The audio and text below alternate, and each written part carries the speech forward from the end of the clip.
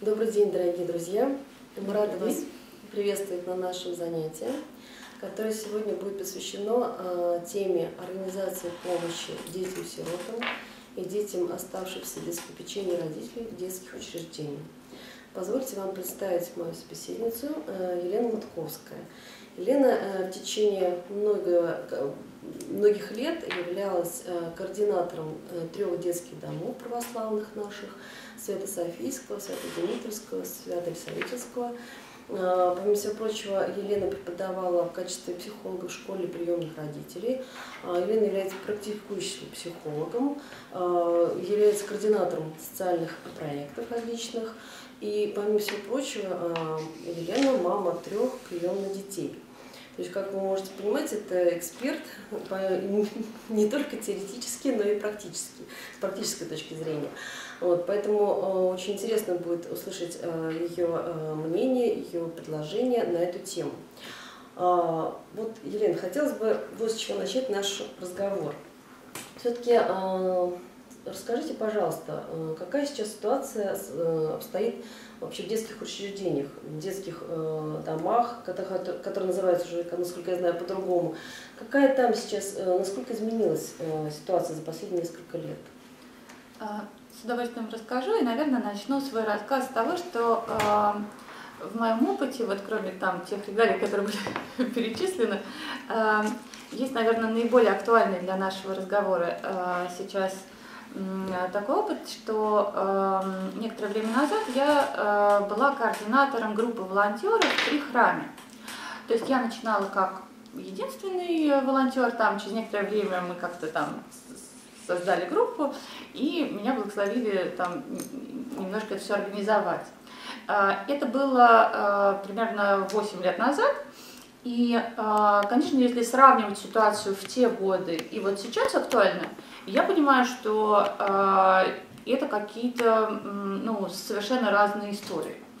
Э, на тот момент детские дома являлись довольно закрытыми учреждениями. Э, устанавливать с ними контакт было очень сложно. И кроме того, ну, возможно, это у нас, но, наверное, это была проблема все-таки большинства людей. На тот момент было не очень понятно, что нужно делать. Вот какого рода помощь нужна. Было понятно, что потребностей очень много, и ну, со своей стороны могу сказать, что мы, конечно, наделали всех ошибок, которых только можно. Вот. Мы немножко затронем, да? Но возвращаясь к тому, какие изменения произошли сейчас, а, они, конечно, довольно драматические. А, суть в том, что а, детские дома перестали быть таким местом постоянного проживания детей наилучшего, да, как вот в советские годы все-таки считалось, что э, это такая хорошая форма жизнеустройства детей, и э, детей воспитывало общество. Сейчас мы пришли к тому, э, постепенно, с помощью разных реформ, э, мы пришли к пониманию того, что э, главная функция детских домов заключается в том, чтобы закрыться, вот. Да, то есть вообще хороший детский дом это закрытый детский дом. А, вот. И а, поменять, ну, на самом деле, это, конечно, шутка, совсем, к сожалению, закрыть на данный момент детские дома невозможно, и, может быть, даже и не нужно э, так себе эту задачу ставить, но, конечно, существенно сократить количество проживающих в них – это возможно, это реалистичная задача, и практика показывает, что она ну, так или иначе решается, цифры об этом свидетельствуют. А, другой вопрос, что на этом пути есть разные сложности. Сейчас э, детские дома называются в основном э, центрами содействия семейному устройству, и из этого названия вытекает их главная функция. А, то есть эм, Э, произошла реформа, и законодательная в том числе, э, благодаря которой э, руководство детских домов понимает, что главная задача их организации найти семью для ребенка, обеспечить контакт потенциальных приемных родителей с ребенком, ну и если у них есть такая возможность, э, открывать или школы приемных родителей, или э, службы сопровождения этих детей, ну или пользоваться услугами э, тех организаций, которые уже в этом направлении работают. И действительно мы видим, ну, наибольшие изменения мы, конечно, видим какой-то в Москве и Московской области, то есть они э, постепенно проникают в регионах, Некоторые регионы, кстати, являются в этом смысле передовыми, и, может быть, даже и более бодрыми, чем Москва, как ни странно. Вот. А некоторые регионы, наверное, еще не, не, не так хорошо успевают, особенно дальние. И в этом смысле мы будем признательны вашим рассказам о том, что происходит у вас в регионах, потому что а, нам тут в центре тоже важно про, про, про это знать. Вот, поэтому если вы нам будете отправлять а, ваши рассказы о том, как у вас это устроено, а, я имею в виду семейное устройство детей, какими темпами они, оно идет, какие дети есть в учреждениях, а, то мы будем вам признательны. Вот, потому что, ну, на самом деле, нам здесь важна эта информация всегда. И эм, сейчас эм, сформулировались основные Э, направления, по которым можно осуществлять э, помощь э, детским домам. И в том числе помощь, которая организовывается на приходах и силами приходов, потому что это, ну, в общем, всегда было такое традиционное взаимодействие.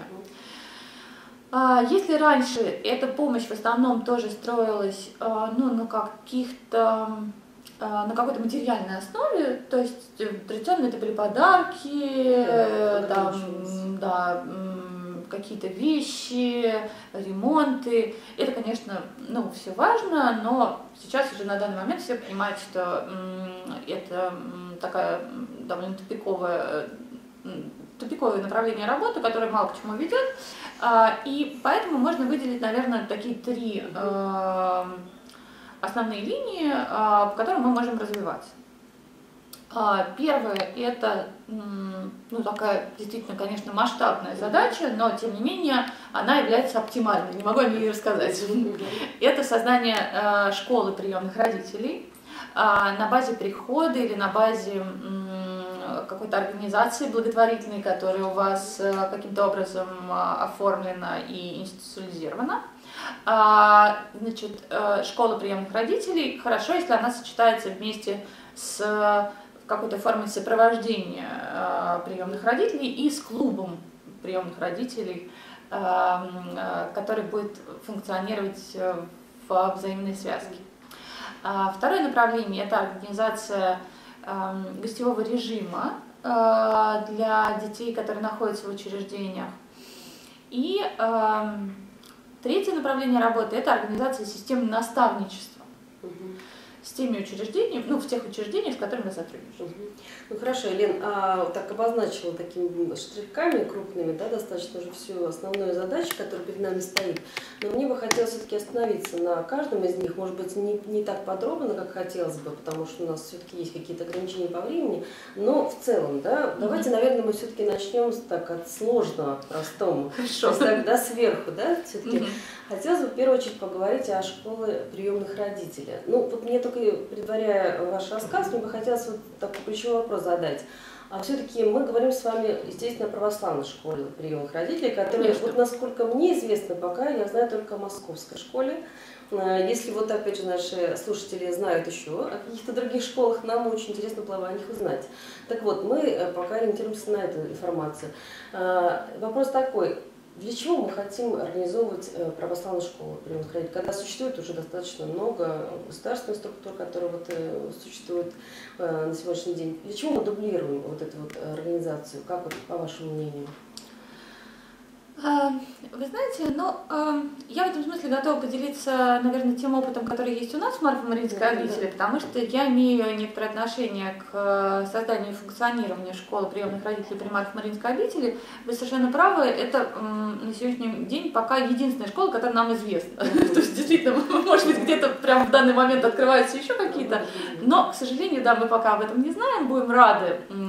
И, э, ну, собственно, одна из целей наших занятий да. сегодня, что возможно, Тут... наша замечательная аудитория, посмотрев, вдохновится нашим опытом и э, начнет в эту сторону двигаться. Сразу могу сказать, что этот путь непростой, но очень нужный. Отвечая ваш, на ваш вопрос, зачем же все-таки стоит городить огород и дублировать? А, ну, например, на территории Москвы, насколько я знаю, функционирует сейчас порядка 50 э, школ приемных родителей, ну, плюс-минус, а, какие-то открываются, закрываются, но, в общем, это число, в общем, так вот вокруг этой цифры стабильно держится. И плюс на протяжении нескольких лет уже работает наша школа приемных родителей Марфа Маринской обители, которая пользуется довольно большой популярностью. А, в том смысле, что у нас есть запись э, потенциальных слушателей на какое-то время вперед. Uh, то есть, uh, во-первых, я хочу сказать, что есть, да, есть, спрос. есть спрос, есть потребность, значит, люди видят, uh, да, это тоже о чем ты говорил, значит, люди видят какую-то в этом смысле необходимость. Значит, второе, зачем, ну, все-таки мы эту потребность удовлетворяем, и что нам кажется, в чем отличие? Все-таки в подготовке приемных родителей есть два таких основных компонента. Это подготовка прежде всего самого себя к этой деятельности.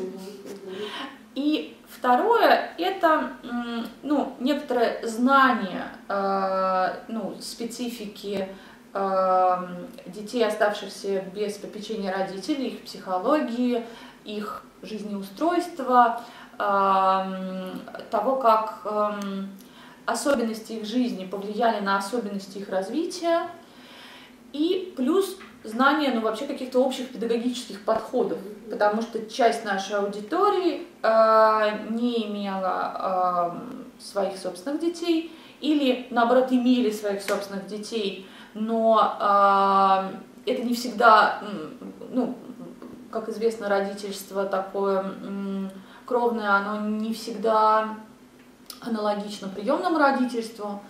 Э, то есть вот два таких основных компонента – это подготовка себя и, в общем, ну, некоторая подготовка на уровне знаний и подходов. Так вот, я хочу сказать, что все-таки а, в общеправославном контексте а, у обоих этих направлений есть некоторая специфика. И в подготовке себя, а, и в таком педагогическом подходе. И очень хорошо, когда это не входит в противоречие с убеждениями аудитории. И так приходится много новых знаний, информации на себя примерять, осваивать. И хорошо, когда это ну, как-то ложится на общий контекст э, жизни семей.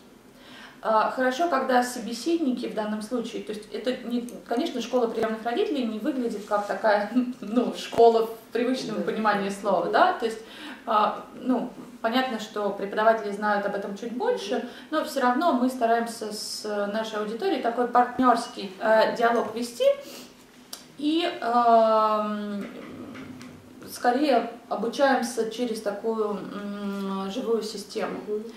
И э, хорошо, когда э, э, могут приходить не только психологи, православные психологи, но и э, батюшки. И, конечно, это возможно в основном... Это обязательно да? Да, да, для нас, для, для православной школы, это, конечно, обязательный э, компонент, и его очень сложно организовать, ну, в рамках э, светской школы, да, вот. А хорошо, когда есть э, возможность, опять же, пригласить батюшку, когда есть возможность приглашать людей из воцерковленных семей и понимать, как у них выстроена жизнь, приглашать приемных родителей, у которых есть опыт эм, ну, именно такой церковной жизни, и они рассказывают о семейном укладе, который, да, да, который понятен аудитории. Ну, плюс ко всему, часть тем, часть тем у нас, конечно, абсолютно совпадает. Угу. то, что касается, ну, например, да, там, общих принципов, теории привязанности, она, ну, не, не, да, она ничем не отличается в этом смысле. Вот. А часть тем мы, конечно, эм, подаем по-разному. Ну, хорошо, замечательно. Спасибо, Лен, большое за такой полный ответ. Но тогда все-таки вкратце, с чего же начать, да, как организовать, если есть такие ресурсы, возможности, и что для этого надо? Вот угу. школы приемных родителей различных, так вот, какие существуют. Ну, э, понятно, что, наверное, самое важное в данном вопросе, э, кроме благословения и общей решимости такой, э, это наличие людей, которые будут это делать. Потому что школа не может существовать без какой-то организационного компонента и без преподавателей. Угу. Вот. Ну, то есть, как минимум, Эм, нужно а, освоить, ну, так называемую мат-часть, да, вот, эм, нужно эм, вникнуть э, в документы, которые э, нужно будет э, оформить, и, насколько я знаю, у нас есть вебинары да, да. по, и по этому вопросу. готовы да. организовать дополнительно, если они будут необходимы. Да, и также иметь ну, понимание, э, из какого бюджета э, будет это финансироваться. Это не великие деньги, но тем не менее они должны как-то, в общем, регулярно поступать, да, вот, потому что там все равно есть какие-то расходы. Нужно понять структуру расходов, э, откуда будут поступать доходы, нужно иметь какое-то помещение, координаторов, которые записывают желающих, ну и ввести это в какую-то регулярность. Mm-hmm. Да? То есть mm-hmm. понятно, что школы довольно формальная, э, школа приемных родителей довольно формальная э, процедура, которая предполагает, что вы э, рассказываете не только то, что хотите, но еще то, что нужно. Mm-hmm. Вот. У вас должна быть программа, вы должны э, иметь э, лицензию на этот вид деятельности, выдавать сертификаты. Э, вас э, будет раз в какое-то время проверять та организация, которая на вашей территории выдает право этим заниматься. Вот.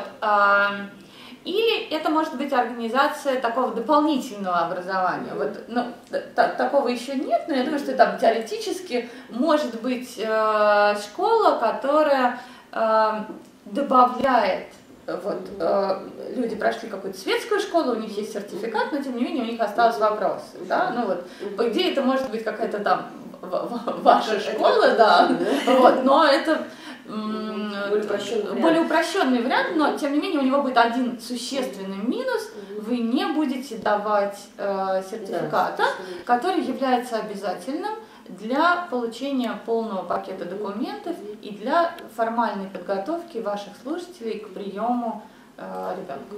А в школе приемных какие специалисты основные должны быть, вот, э, вот, вот, которые точно должны быть, да? Если это кого-то можно еще при, привлечь, да, а вот те, которые постоянно, ну, те же занятия, которые проводят, да, на постоянной основе, какие вот их? Не так много, да? Да, их действительно не так много, но э, как минимум у вас э, должен быть э, руководитель этого проекта, который отвечает за его функционирование.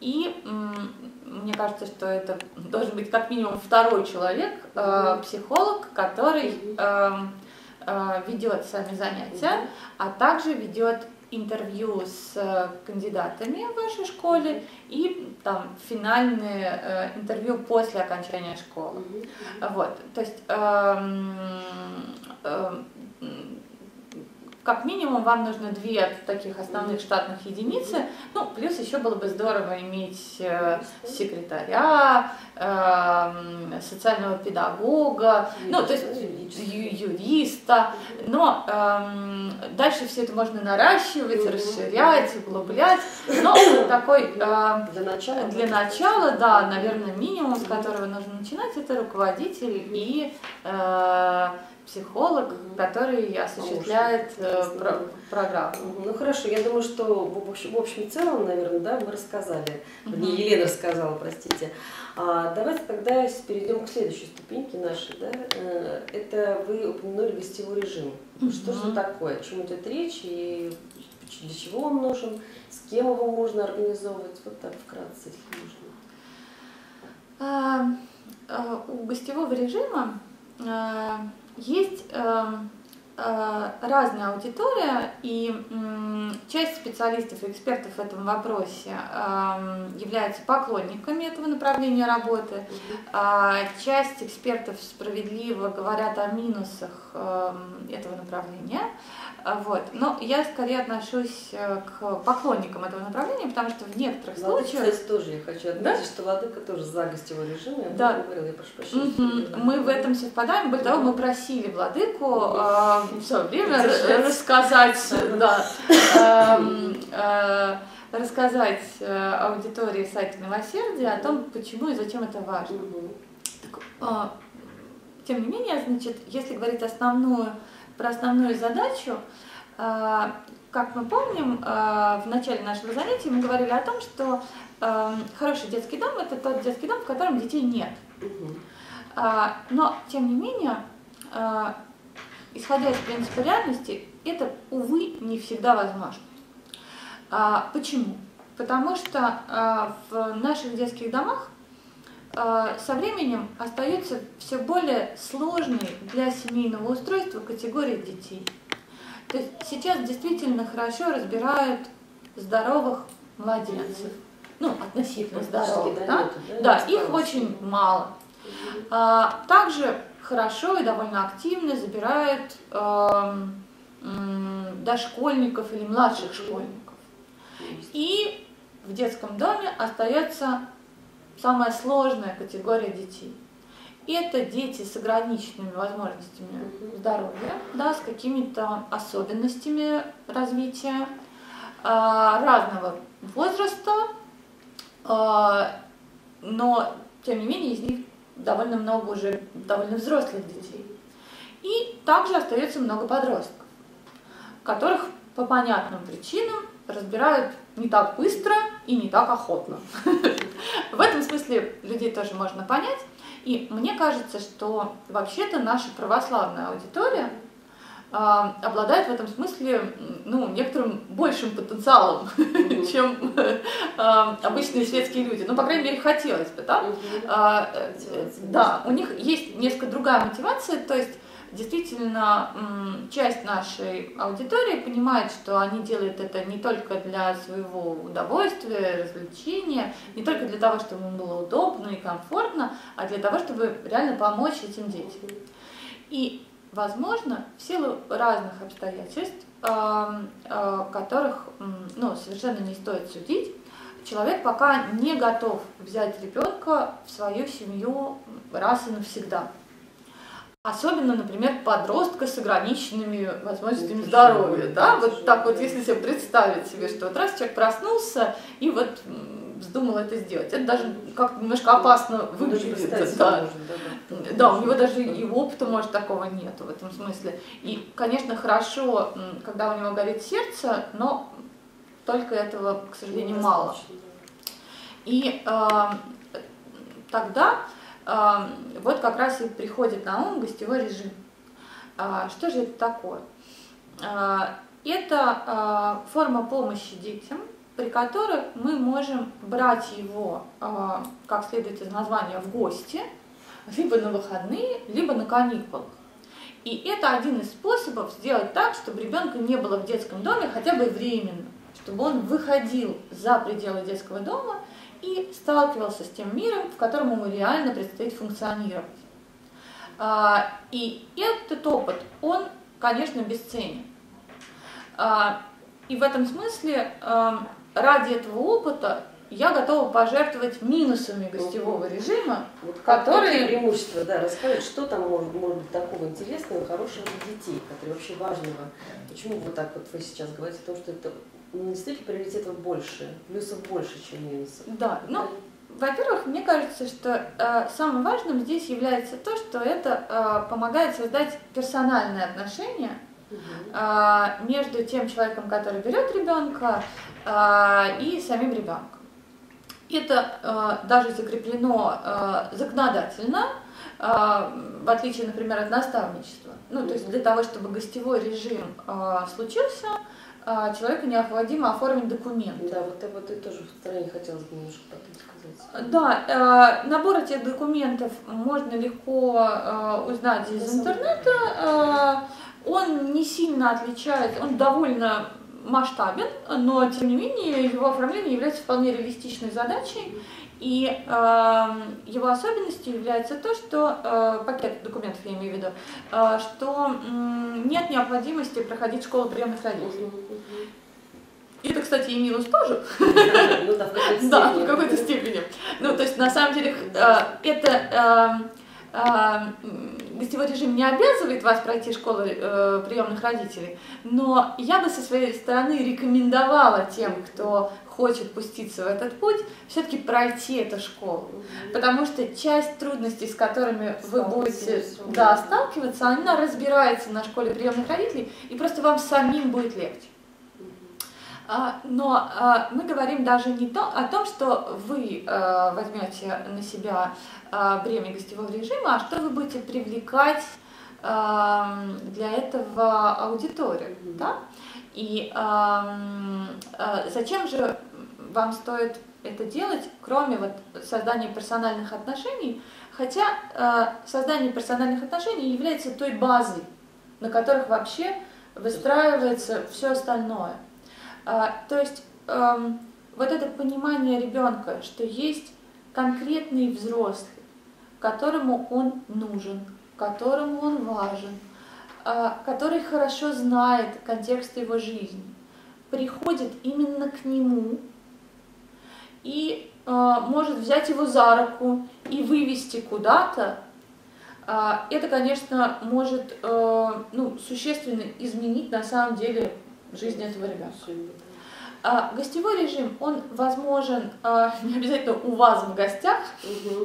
А, гостевой режим дает право а, приходить к ребенку на его территорию и проводить время там, дает право выходить за территорию детского дома, не обязательно к вам в гости, то есть если ваши квартирные условия или семейные условия не позволяют приводить ребенка, это не значит, что вы не можете использовать этот способ помощи.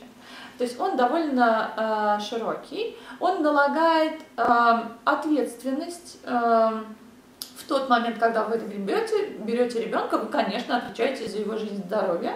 И это тоже очень хорошо, на самом деле, вот, потому что э, взаимные обязательства, э, они э, важны для создания отношений.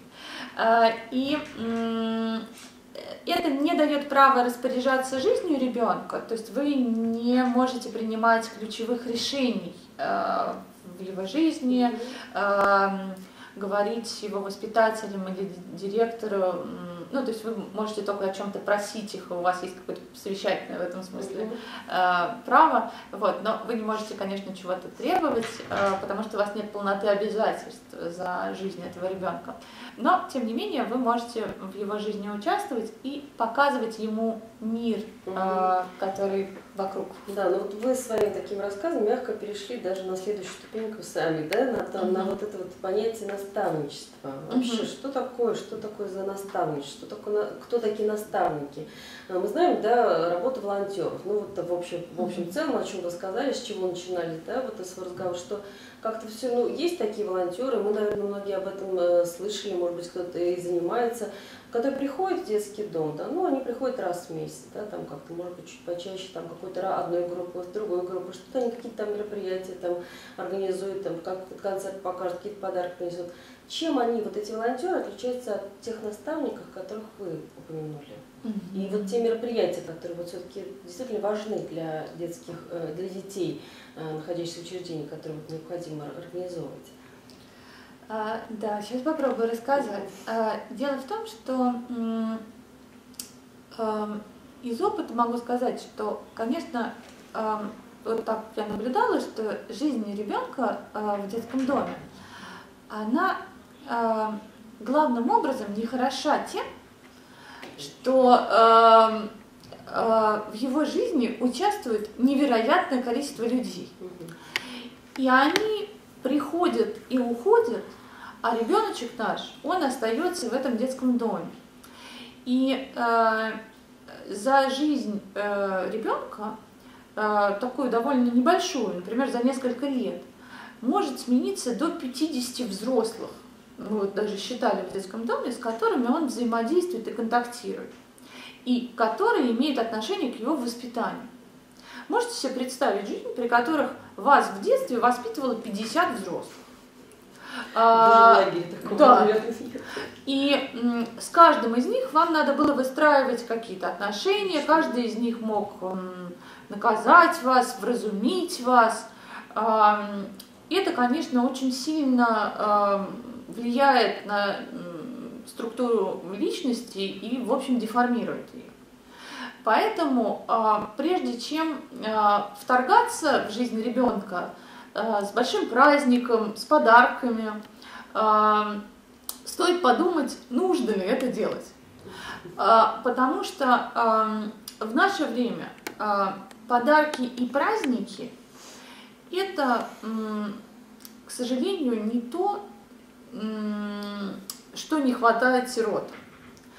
А, в том смысле, что, конечно, вот особенно это связано с праздниками, да, тут вот э, случается Рождество или Пасха, и в жизни ребенка э, просто случается какой-то вихрь карнавала вокруг него э, из конфет, подарков, череды волонтеров, которые нескончаемым потоком идут и идут в детский дом, плясок, песен, эм, дети пляшут, взрослые пляшут, все в едином порыве воет хоровод вокруг елки.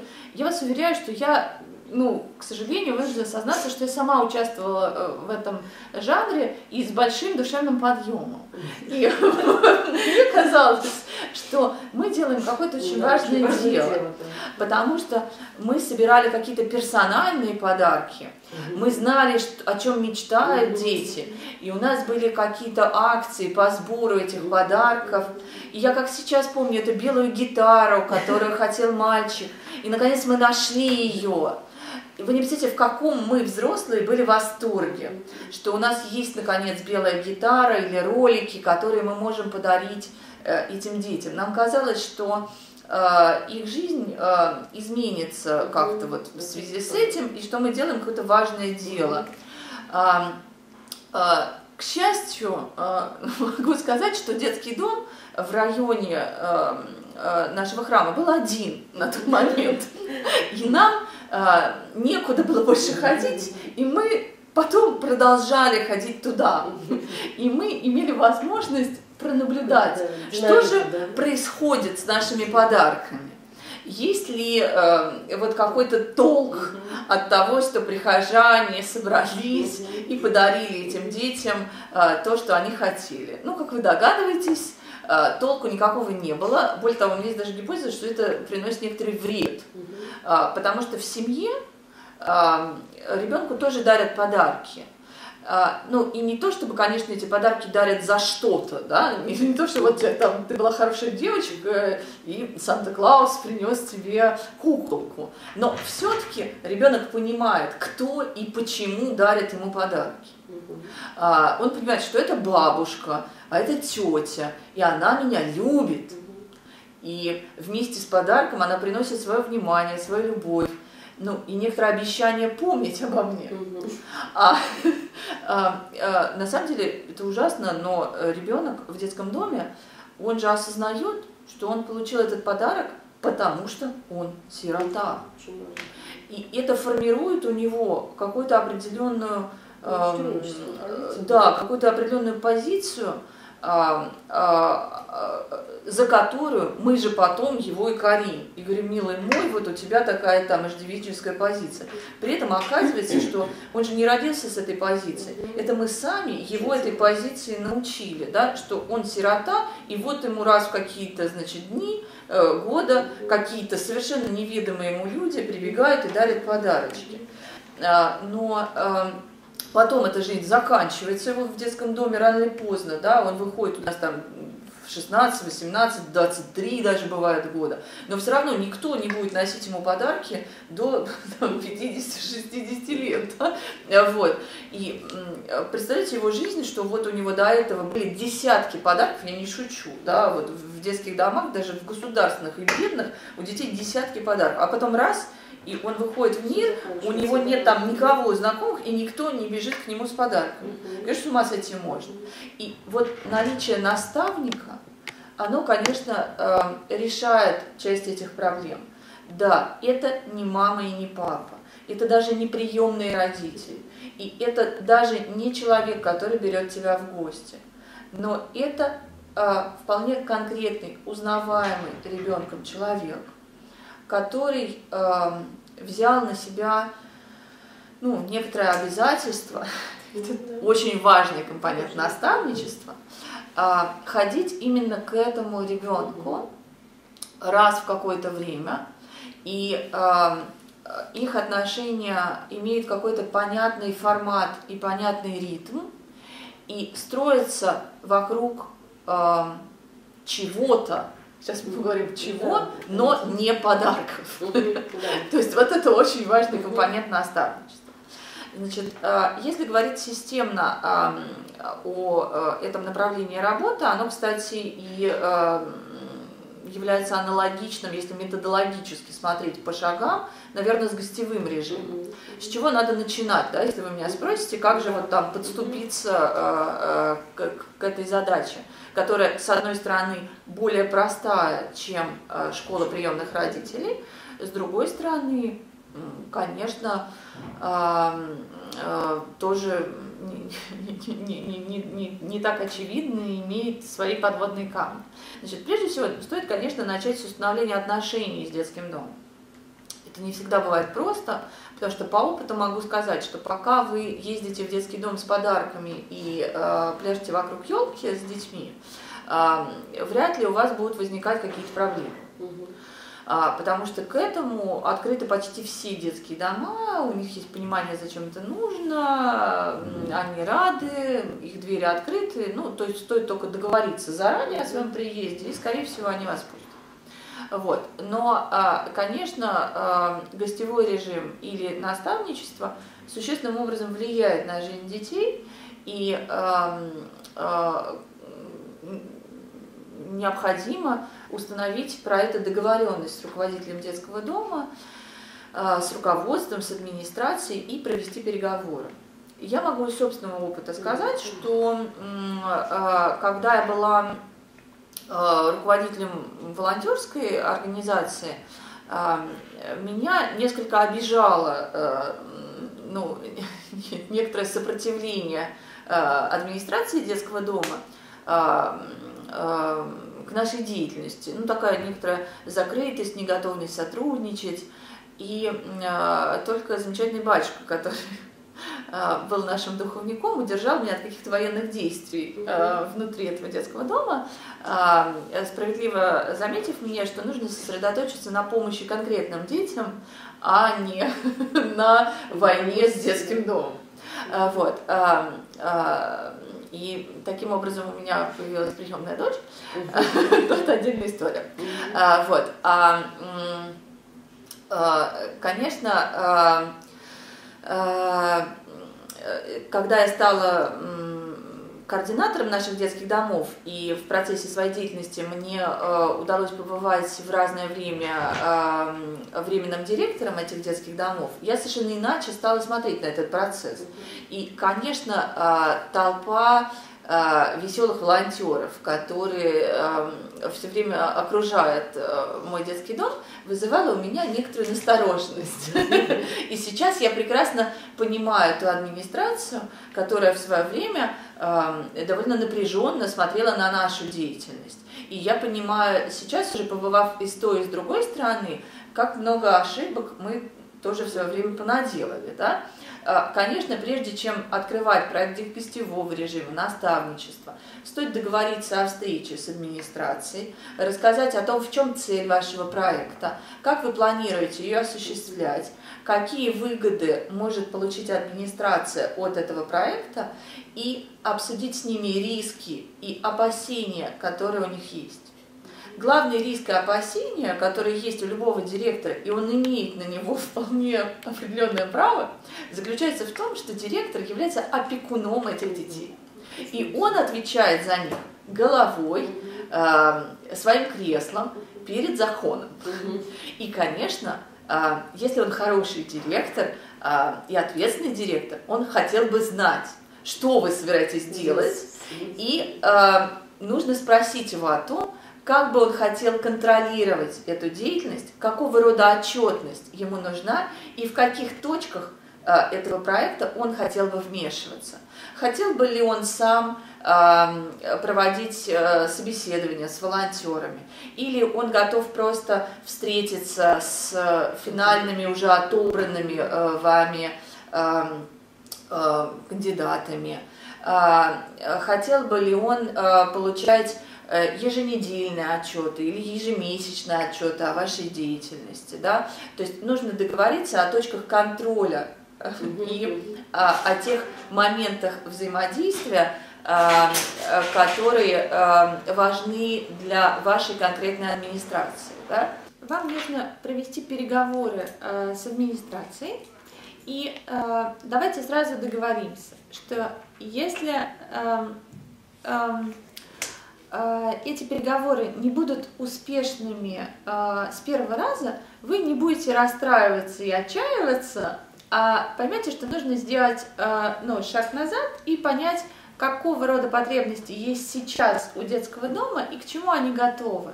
То есть иногда этот проект наставничества, он вызревает в процессе сотрудничества. То есть если сейчас детский дом ни к чему не готов, ну, кроме каких-то разовых мероприятий, к сожалению, придется на некоторое время на этом остановиться, хотя мы помним, что это не очень эффективно, но делаем это ради установления отношений с самим детским домом, да, их просто логичным выстраиванием, потому что э, у детского дома тоже есть период привыкания к вам, как э, к организации, которая помогает, и нужно наработать некоторый кредит доверия для того, чтобы нам дали делать внутри детского дома сложный проект. И э, если у вас будут возникать какие-то сложности в договоренностях с детским домом, вы можете писать нам, а, мы постараемся вам отвечать ну, просто из опыта своего, да, как, как, как лучше еще по, по, поговорить с ними, да, то есть э, какие можно э, использовать методы в этом смысле переговоров. Э, итак, э, мы поговорили о том, что важно договориться о, о самом проекте с администрацией. А дальше можно осуществлять набор, а, а, поиск прежде всего кандидатов а, в наставники. Это можно делать, используя ну, те информационные ресурсы прихода, которые есть, да, и доски объявлений, и газеты, и сайты, и просто встречи с прихожанами, Хорошо, когда батюшка в этом смысле помогает вам и э, э, тоже вместе с вами, да, вместе с вами э, занимается приключением, обращается к пастве, рассказывает, зачем это нужно. Конечно, это все становится более эффективным. В свое время я помню, что когда мы попросили владыку рассказать о том, почему ему кажется это важным, вот в гостевом режиме я уже упоминала, а, конечно, мы получили более широкую аудиторию. А, и мы понимаем, что да, конечно, это работает. Сколько бы мы ни выступали перед аудиторией, понятно, что священник имеет совершенно другое влияние. И когда у вас есть уже какое-то количество желающих, а, вы можете начать обязательно с ними встречаться. Ну, то есть это, этот, это, это, да, этот этап, ну, прежде всего, речь идет об отборе, потому что э, не всех и не всегда можно брать в этот да, проект. Тоже важно. То есть нужно, да, ну, Тут, если говорить о критериях, то, наверное, как бы мы будем в большей степени руководствоваться. Понятно, что там часть из вас не является психологом и не может провести какое-то в этом смысле э, глубинное интервью э, с Эм, нашими кандидатами. Но, по крайней мере, я предлагаю руководствоваться здравым смыслом и принципом «не навреди». Да? То есть э, нужно все-таки смотреть, зачем этот человек э, хочет этим заниматься, есть ли у него ресурсы временные, что он может эм, дать в этом смысле детям, да, в хорошем смысле этого слова. Вот. Эм, и насколько этот человек эм, ну, до некоторой степени готов участвовать ну, в командной работе, что ли, да, потому что э, э, отправляя его в детский дом, вы как руководитель этого проекта, вы, в общем, отвечаете за действия этого человека в детском доме. И важно, чтобы у человека была некоторая критичность к своей деятельности, вот, ну и возможность э, э, взаимодействовать с вами. Я так осторожно об этом говорю, потому что я хочу сказать, что у нас были разные случаи, да, да когда человек приходит э, в детский дом, и у него есть э, большое желание ну, такого служения этим детям. И если он не управляем, то он начинает творить э, очень часто от абсолютно благих намерений. Он начинает творить какие-то вещи, которые просто в раз подрывают доверие не только к нему, но и ко всей вашей организации и могут навредить ребенку, да? Вот, ну, например, он там начинает э, резко дарить ребенку телефоны, э, э, там класть туда деньги, э, он не, не, не понимает, э, что, что можно делать, что нельзя, он начинает спорить с воспитателями, проводить свою какую-то резко воспитательную линию, ну, в общем, совершать какие-то движения, которые могут вызвать вопросы вполне эм, адекватные, да, у администрации, не только к этому человеку, но и к вам. Поэтому вот тут нужно как бы смотреть, насколько вы с этим человеком сможете в этом проекте работать. А, вот. А, значит, после этого, конечно, нужно проводить какое-то обучение. Величину этого обучения и масштаб его а, вы можете определять вашими ресурсами. Конечно, нужно для этого, чтобы было кому это обучение проводить, но в данном случае мы опять же, нуждаемся в обратной связи от вас. Если у вас есть желание этим проектом заниматься, и люди, которые потенциально могли бы это делать, и единственное, что вас отделяет, это отсутствие знаний о том, как обучать, то, наверное, с этим мы бы могли каким-то образом помочь, да? Вот, то есть нам нужно знать про ваши потребности, и если они э, звучат как, пожалуйста, научите, как это делать, я думаю, что это решаемая задача. И в интернете много материала, и мы можем много чем поделиться. То есть я думаю, что мы выстроим какую-то в этом смысле программу. Да? Как касается школы приемных родителей, тоже касается и гостевого режима, и наставничества. Наставничество предполагает, конечно, наименьшее количество обучения по сравнению со школой и с гостевым режимом, но, тем не менее, без обучения я бы не рискнула пускаться в это плавание. Э, чему мы должны научить наших наставников? А, как минимум, мы должны дать им некоторые общие сведения, которые касаются особенностей детей, которые находятся в учреждении. То есть рассказать а, им о том, какого рода а, дети туда попали, с какими жизненными историями они могут быть и э, как это повлияло на особенности этих детей, на особенности выстраивания отношений, и подготовить наставников к каким-то типичным ситуациям, с которыми они будут сталкиваться. Да, все ситуации вы никогда не разберете и не сможете подготовить. Это невозможно даже в рамках школы приемных родителей, скажу вам на практике. Да? А, но, а, конечно, к основным мы не можем просто пустить его в плавание и сказать ему вперед, да? потому что ну, уже как бы на входе понятно, с какими сложностями он столкнется. Сложности основные – это трудность установления контакта, а, то есть не, не обязательно, что вот ребенок сидит его и ждет. А, и, особенно э, подросток, да, да, особенно подросток, трудный. А, или наоборот, э, он может быть э, там очень мрачным, или наоборот, он может быть слишком открытым и сразу кидаться на шею, и волонтер в ужасе понимает, что он может назвать его мамой.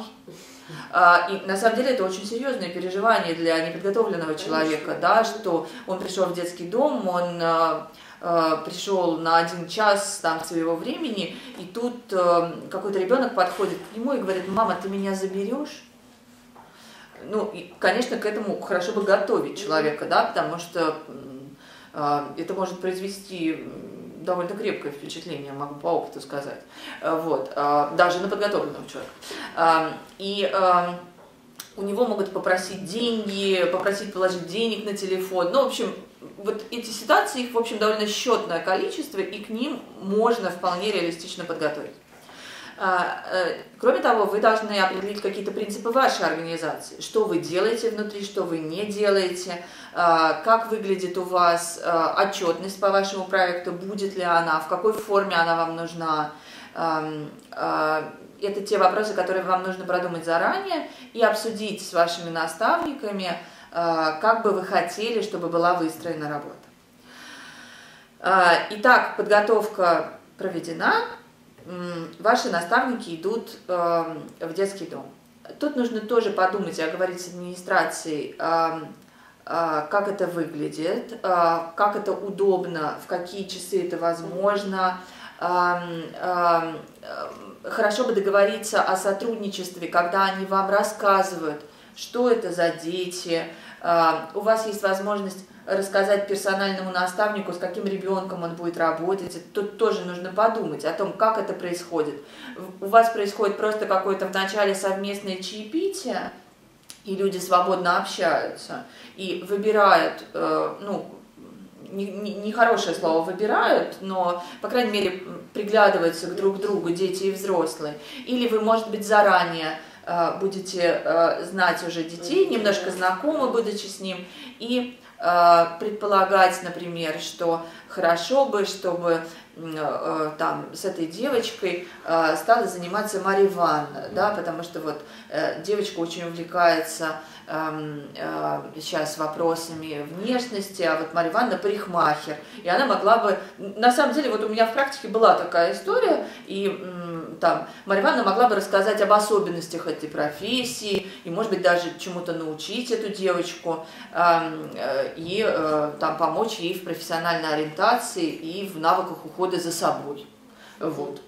Ну, такой уже вполне себе ощутимый результат. Вот. А, ну, в общем, как-то отношения персональные должны выстроиться. Еще раз скажу, что в наставничестве главный компонент – это все-таки э, личные отношения между ребенком и его наставником. И дальше начинается процесс знакомства.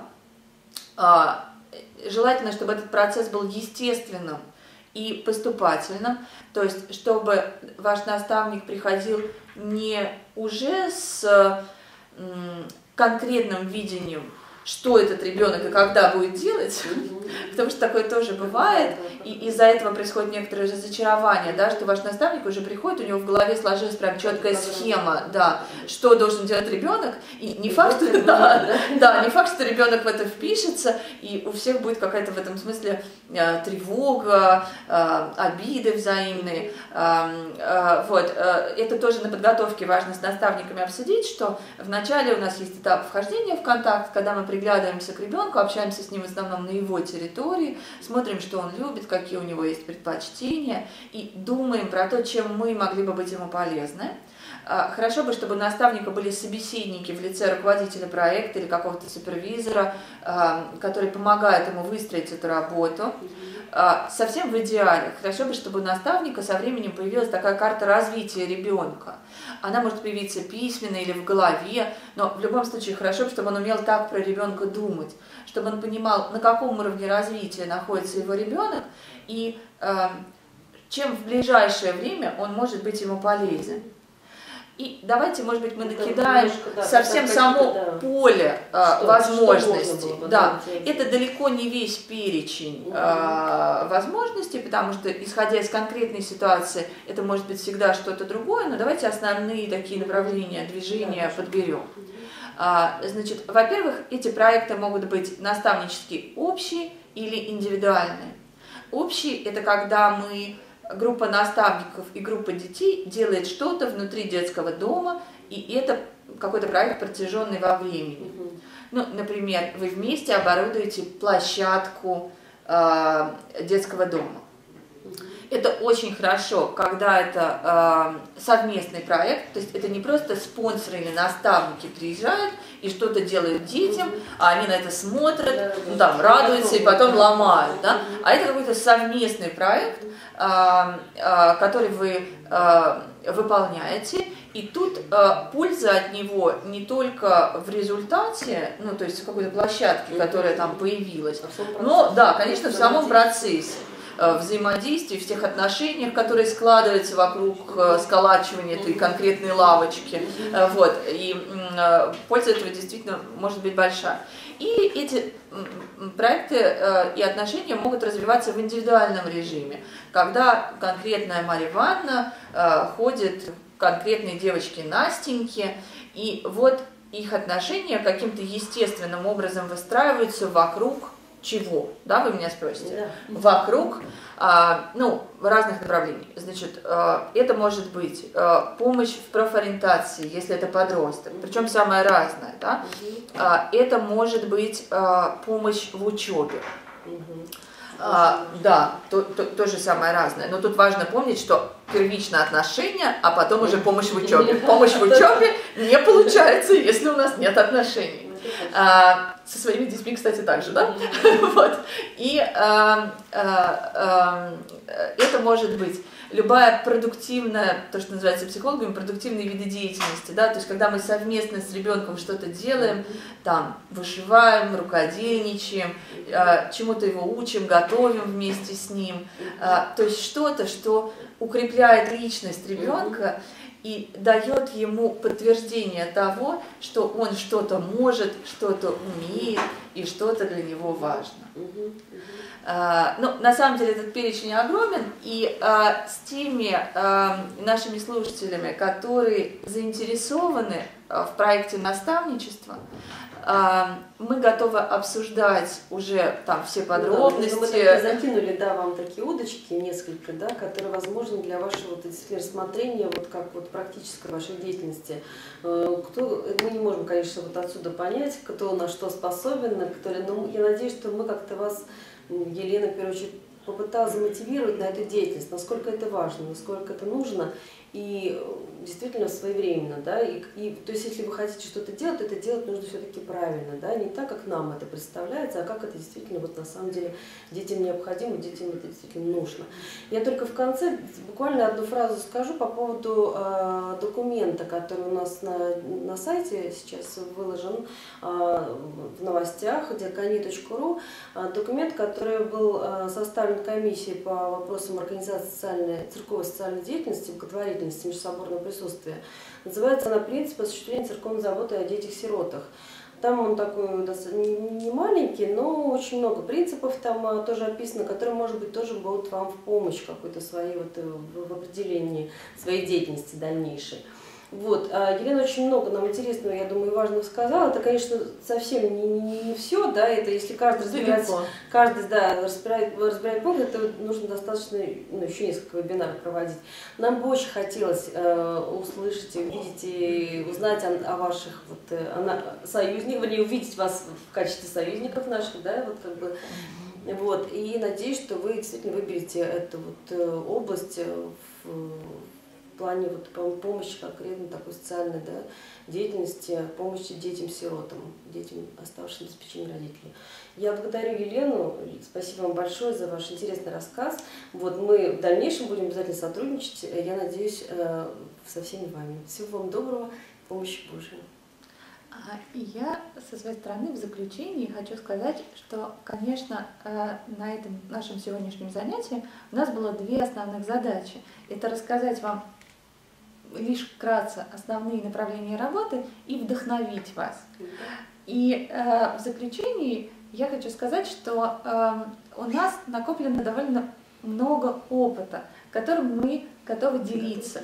И я понимаю, что, возможно, те проекты, о которых мы сегодня говорили, на сегодняшний момент вам кажутся неосуществимыми, очень сложными, что это звучит как, ну вот просто какое-то освоение Марса.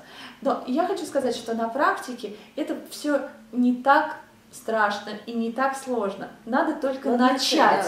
Да, и э, вот как только вы решитесь начать и напишите э, нам свои запросы и вопросы, мы сразу сможем от них оттолкнуться и выстроить да, какую-то уже конкретную программу обучения и помощи вам э, разного рода, э, которые, я надеюсь, выльется во множество замечательных проектов. Благодарю, Елена, еще раз. Да, спасибо большое. Спасибо. Тогда до новых встреч.